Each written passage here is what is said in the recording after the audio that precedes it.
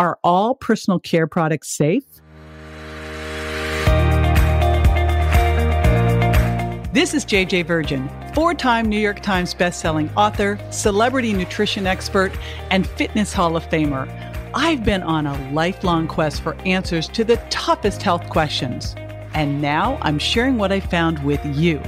Welcome to Ask the Health Expert.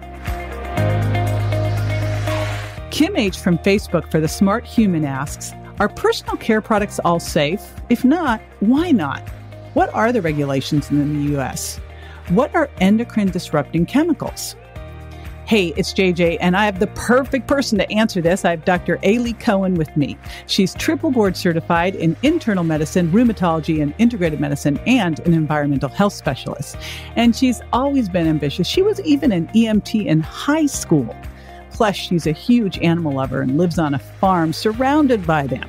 She'll be right back with me. Stay tuned.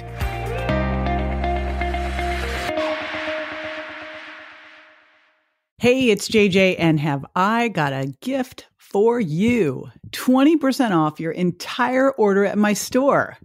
That makes it a great opportunity to stock up on everything you want to get and stay healthy. Just go to jjgiftforme.com to get started. That's jjgift, F-O-R-M-E dot com.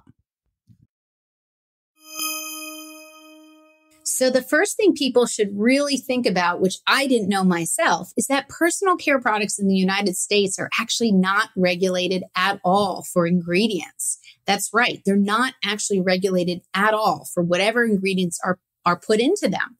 So there's a variety of chemicals that have been found in many of the products that we lather onto our skin, we put into our hair, we put onto our children's skin.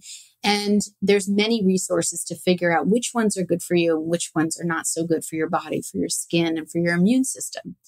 So it turns out that, for instance, fragrance, fragrance that is in everything from laundry detergent and even our makeup and even to our fancy bottles of perfume actually contain chemicals known as phthalates. And phthalates actually are made to keep fragrance lasting longer, to have a longer shelf life.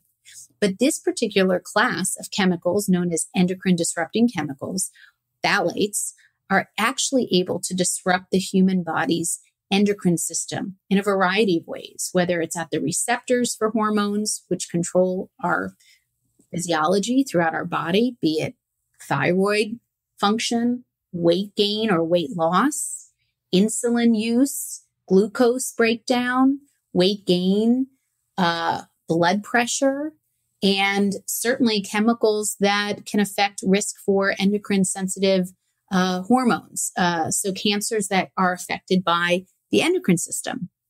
So, we really want to think about how to have cleaner personal care products so that we don't put some of these chemicals like phthalates and a variety of other formaldehyde releasing chemicals into or onto our bodies. There's a great resource that I discuss in my book, Non Toxic Guide to Living Healthy in a Chemical World. Some of those resources include uh, environmental working groups, skin deep database, where you can actually look up your products that you use and see whether or not there's any harmful contaminants or harmful ingredients and also choose better options. So that's just one resource I discuss in my book.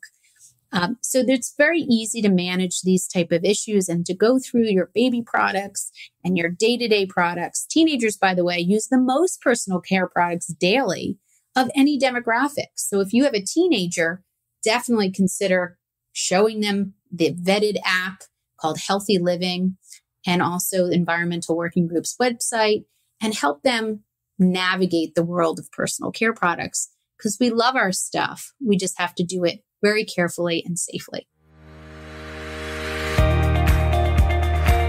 This is JJ with Ask the Health Expert. I do this five times a week, so make sure you never miss a show by going to subscribetojj.com.